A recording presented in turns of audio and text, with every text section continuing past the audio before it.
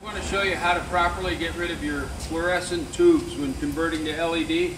One of the reasons that we're converting to LED is to get rid of all of the uh, chemicals and toxicity that's inside of these fluorescent tubes. They're really quite bad for the environment. A lot of times what we do is we get rid of our old tubes and we throw them in the dumpster. Well, this is why we use a machine like this. This is uh, going to crush the tube. It's going to trap all the gases and all the hazardous materials inside this drum. And then we have a filter on the other side that collects all of the gases and makes sure that just the clean air and the good stuff comes out. So here's a quick demo of how we get rid of tubes. You ready?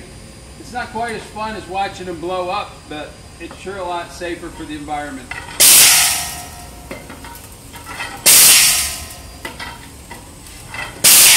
Now here comes an eight footer. This will be fun to watch. Right, you ready?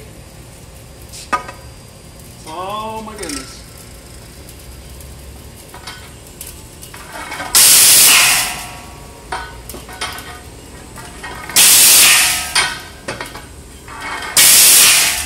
There you have it. All right, so when you're getting rid of your fluorescent tubes, do it the right way. Go with the company that uses the right equipment, and uh, slowly but surely will make the environment a better.